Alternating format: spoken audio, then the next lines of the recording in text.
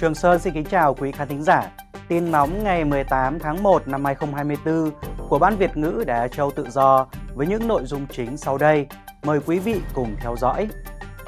50 năm Trung Quốc cưỡng chiếm Hoàng Sa, chính phủ cần xây đài tưởng nhớ sự kiện này. Campuchia sẽ khởi công xây dựng kênh Phú Nán vào quý tư năm 2024. Việt Nam phê duyệt kế hoạch khai thác bể than sông Hồng trước năm 2040. Nhiều tổ chức xã hội dân sự độc lập yêu cầu chính quyền Việt Nam ghi sự kiện Trung Quốc cưỡng chiếm Hoàng Sa từ Tây Việt Nam Cộng Hòa 50 năm trước vào lịch sử của dân tộc, đồng thời xây đài tưởng nhớ. Tuyên bố về 50 năm ngày Hoàng Sa bị Trung Quốc cưỡng chiếm được các tổ chức như Câu lạc bộ Lê Hiếu Đằng, Lập quyền dân, Diễn đàn Bô Xít Việt Nam, vân vân công bố ngày 15 tháng 1, 4 ngày trước ngày tưởng niệm trận hải chiến Hoàng Sa, trong đó 74 quân nhân Việt Nam Cộng Hòa tử trận và bị Trung Quốc chiếm giữ quần đảo này từ đó tới nay. Tuyên bố nhắc lại khi đó Hoàng Sa thuộc quyền quản lý của chính phủ Việt Nam Cộng Hòa và Bắc Kinh đã lợi dụng cuộc nội chiến ở Việt Nam sử dụng vũ lực chiếm đoạt quần đảo này. Nhà nghiên cứu Nguyễn Khắc Mai, cựu trưởng ban nghiên cứu Ban dân vận Trung ương, nhắc lại quan điểm này trong cuộc trả lời phỏng vấn Đài Á Châu Tự Do ngày 18 tháng 1. Tất cả mọi người Việt Nam yêu nước, hy sinh để bảo vệ cái chủ quyền đất nước của mình thì phải được tưởng nhớ, phải được tôn vinh thì 74 người chiến sĩ hy sinh ở Hoàng Sa cũng thế thôi, cũng trong cái tinh thần như vậy. Trên các tờ báo nhà nước những ngày gần đây, rất ít tin về sự kiện 50 năm ngày mất Hoàng Sa. Nếu có thì chỉ một vài bài nói về việc chính quyền địa phương thăm hỏi những nhân chứng là những quân dân cán chính Việt Nam Cộng Hòa từng làm việc trên quần đảo Hoàng Sa.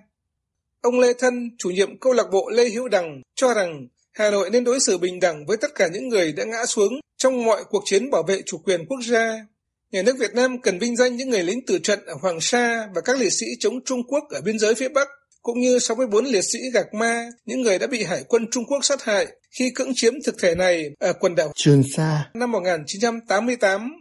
Tuyên bố cũng kêu gọi nhà nước cần truyền thông rộng rãi cho nhân dân, đặc biệt là các thanh thiếu niên, luôn luôn ghi nhớ việc Bắc Kinh vi phạm luật pháp quốc tế trong vấn đề Hoàng Sa. Trong tuyên bố này, các tổ chức và các nhân sĩ ký tên đề nghị chính quyền tiếp tục đấu tranh kiên quyết, bền bỉ bằng mọi biện pháp và hình thức với Trung Quốc nhằm đòi lại Hoàng Sa Ông Nguyễn Khắc Mai, đại diện cho tổ chức Lập Quyền Dân, ký trong tuyên bố, nói Tiếng nói của chúng tôi là chắc chắn chỉ là một nhóm, nhưng mà nó cũng tiêu biểu cho một cái tinh thần hiểu biết và trách nhiệm công chân của mình đối với nước nước, với Tổ quốc mà 50 năm đã qua, nhân dân chỉ yêu cầu cái đảng cầm quyền và cái nhà nước phải có nhiều cái hoạt động mạnh mẽ hơn, quyết liệt hơn, tất nhiên là hòa bình thôi. Nhưng mà phải đưa nó ra, thành ra luật pháp quốc tế kêu gọi thế giới nó phân tích, nó phê phán, nó ủng hộ mình, và nó lên án cái cuộc xâm lược đấy của trung quốc phải coi trọng cái đấu tranh để bảo vệ Hoàng Sa, bảo vệ chủ quyền của mình bằng uh, luật pháp, tư pháp, dư luận quốc tế.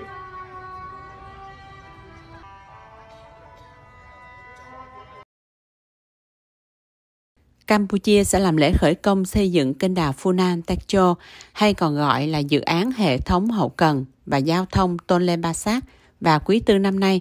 bất chấp những lo ngại về ảnh hưởng xấu về môi trường của kênh đào trong khu vực. Báo Khmer Times của Campuchia hôm 18 tháng 1 dẫn lời Bộ trưởng Giao thông Công chính Campuchia Pem Ponia cho biết thông tin về lễ động thổ này và gọi đây là một sáng kiến kênh đào lịch sử của Campuchia. Đài Á Châu Tự Do trong các tháng qua đã có những bài phỏng vấn các chuyên gia quốc tế liên quan đến kênh đào này. Một số chuyên gia đã bày tỏ lo ngại về ảnh hưởng của kênh đào này lên hạ nguồn sông Mekong, mà cụ thể là Việt Nam. Kênh đào có vốn đầu tư khoảng 1 tỷ 7 đô la, được cho là sẽ lấy nước từ dòng chính của sông Mekong và do đó gây ảnh hưởng đến lưu lượng nước ở sông, nhất là vào mùa khô. Hiện các nhà khoa học đang kêu gọi một điều tra đánh giá tác động môi trường và xã hội cụ thể của dự án này. Chính phủ Việt Nam vừa phê duyệt chiến lược phát triển ngành công nghiệp than Việt Nam đến năm 2030, tầm nhìn đến năm 2045 trong đó đặt mục tiêu khai thác bể than sông Hồng trước năm 2040. Truyền thông nhà nước cho biết chiến lược được Thủ tướng Chính phủ phê duyệt vào ngày 16 tháng 1 vừa qua đặt mục tiêu tìm kiếm đối tác trong và ngoài nước, nghiên cứu đầu tư, lựa chọn công nghệ, phương pháp thăm dò bể than sông Hồng đến năm 2030. Việc thăm dò một phần diện tích và điều tra, đánh giá bể than sông Hồng được hoàn thành trong 15 năm sau đó. Tuy nhiên, một số nhà khoa học trước đây đã bày tỏ lo ngại việc khai thác bể than sông Hồng vì những tác động về xã hội và môi trường. Những tác động lo ngại có thể bao gồm sụt lún địa hình, thay đổi mực nước ngầm, ô nhiễm không khí, nước, nhiễm mặn các tầng chứa nước dưới đất, thậm chí có thể làm thiệt hại đến tài nguyên khoáng sản khác, nước, nước khoáng, dầu khí, địa nhiệt, vân vân.